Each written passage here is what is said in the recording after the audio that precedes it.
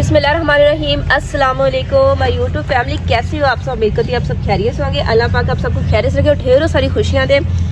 देखिए जी, आज मैं काम करने लगी आप देखिए कि मैं क्या काम कर रही हूँ। आज मैं बना रही हूँ थापियाँ। जो मैंने बनाई हुई थी, वो मैंने सूखने डाली हुई थी। क्योंकि आपको पता, सर्दियों का मौसम आ चुका है तो हमें लकड़ी की और इन चीज़ों की ज़्यादा ज़रूरत होती है आग जलाने के लिए। तो ये हमने सूखने के लिए रखी हुई थी। तो अब इन्हें थोड़ी सूखी से खड़े करके रखते हैं, ताकि धूप नीचे की तरफ़ से भी लग जाए।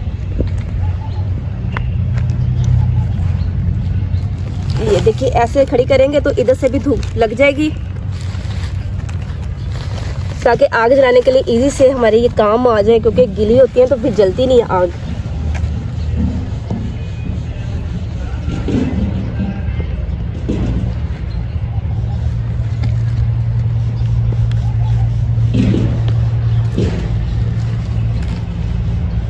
तो इसी ये देखिए, मैंने काफ़ी ज़्यादा बना चुकी थी। तो अब मैं और बनाती हूँ, क्योंकि ये तो भी हमारे लिए कम है। चले, हम और बनाते हैं।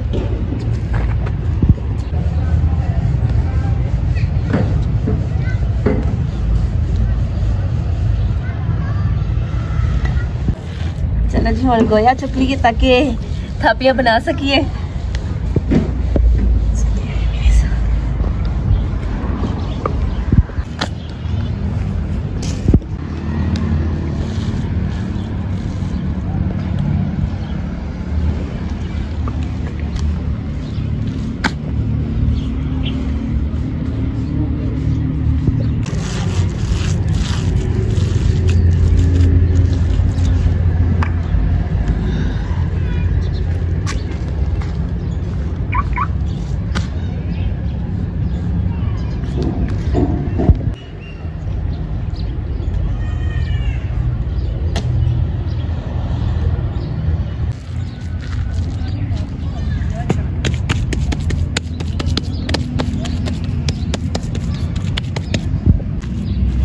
ऐसे थोड़ा सा रोल करके गोबर को हम उठाएँगे।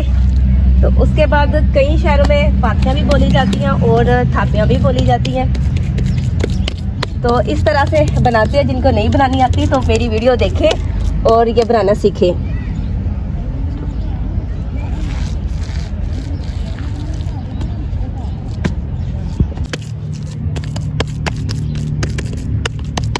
देखिए जी, कितनी प्यारी गोल मटोल बना ली है।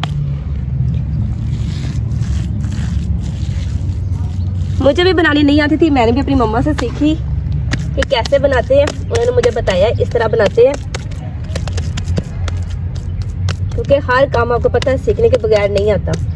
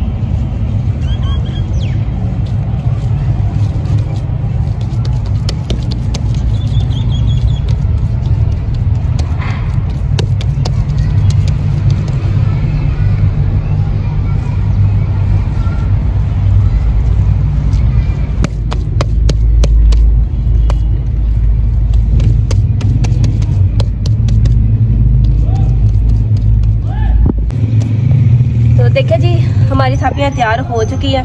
तो अब सूखने के लिए हमने रखी हुई है। जैसे ही आपको पता है सर्दियों का मौसम है तो सूखने के लिए भी टाइम लगता है। तो ये तैयार हो गई। उसके बाद जब सूखेंगी, फिर हम इनकी साइड चेंज करेंगे।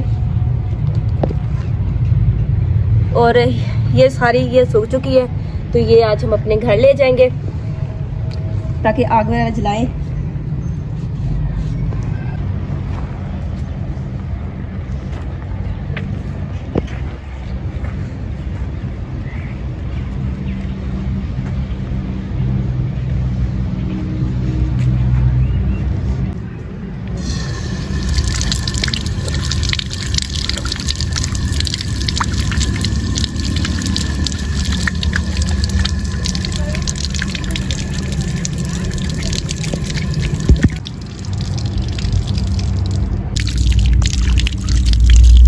तो प्लीज़ आप लोग मेरे व्लॉग को बहुत ज़्यादा शेयर करें और मुझे आप लोगों की सपोर्ट की बहुत ज़्यादा ज़रूरत है। तो इनशाला हम ऐसे ही व्लॉग डेली आप लोगों के साथ लेके आया करेंगे। हमारे किचन का काम जो कंप्लीट होने वाला अनकम्प्लीट है, वो जल्दी से हम कंप्लीट कर लें। तो रेगुलर हमारी वीडियो हमारी जो हम खाना बनाते हैं रेसिपी वो सारी वीडियो हम आप लोगों के साथ शेयर किया करेंगे।